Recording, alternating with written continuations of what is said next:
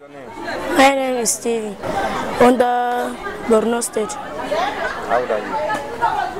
I am 15 years Why are you here in the camp? because Boko Haram. What happened between you and Boko Haram? They have come our village to kill. uh, They kill some men and women. They are kill my father with knife. They did what? They killed my father with knife. You saw them? Yes. She, they catch. They catch him. They catch him and um, and told his hand. Then he's he take his neck. What time? When did this happen? Which month? January, February, March, in December, December what? December 2014, 15 day, 15.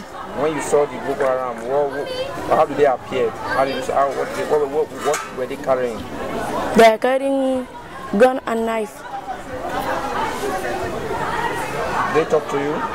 No, Well, when you saw them, what, what did you do?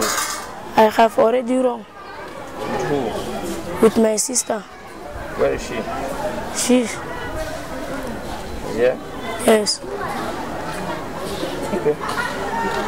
Um, what, what class were you before the Boko Haram incident took place?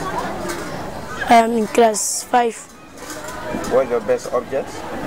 English. Uh, what do you want to become when you grow up? I want to be a doctor because I want to treat people